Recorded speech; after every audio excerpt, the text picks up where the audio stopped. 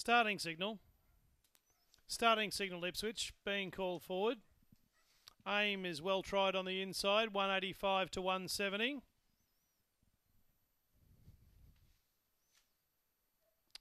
Aim, the odds on elect, 185 into 170. Just as these runners going in, condolences to the uh, Brett family on the mother of Tony and Gary. Jenny Brett, who sadly passed away earlier this week on the 23rd of September. Her service will be held at Laidley this Friday at 1.30. Family and friends invited. Green light on. Odds on elect aim. One the red. Racing. Aim second away. Ellie Bye Bye gets out hard. Aim comes across. Look at database out wide. Crosses them all. The son of. Uh, Paw Licking goes four in front of Aim. Ellie Bye Bye to third. Then comes TB Good Lig Pinger and Cashflow Joe. Database. Another winner for Hazel Grove. Database by four. Aim the favourite. Made ground again late.